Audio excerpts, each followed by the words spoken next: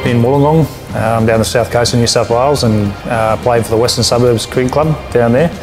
Um, then obviously went through the Illawarra ranks, and then and then decided to make a move to Sydney and played all my cricket at Sutherland Cricket Club.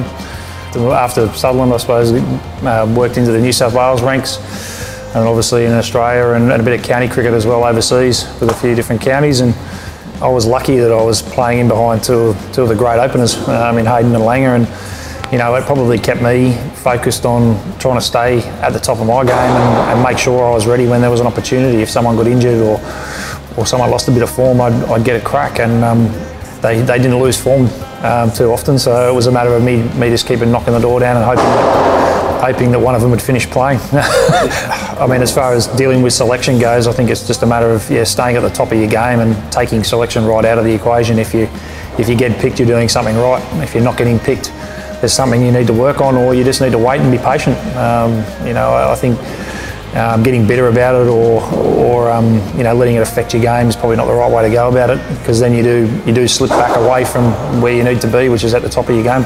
Steve Waugh, you know, he was a, he was a great leader, real hard-nosed cricketer.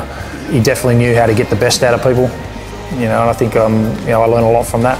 Um, and playing with guys like Simon Katich and Brad Haddin, I think they were they were two real lead by example sort of cricketers, and um, you know they were really good role models, I suppose, to you know to forge your cricket career around.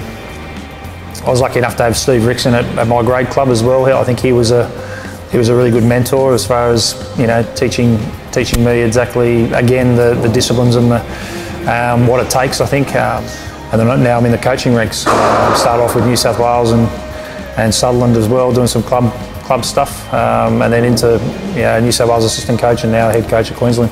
Yeah, it was something that always um, always interest interest me, and I suppose while I was playing, I was always thinking like a coach and you know trying to think of ways of always improving my game and uh, you know trying to help other people uh, get to where they wanted to get to as well. And and now um, you know now that's obviously the focus. It's um, yeah, it's really rewarding uh, to be a coach.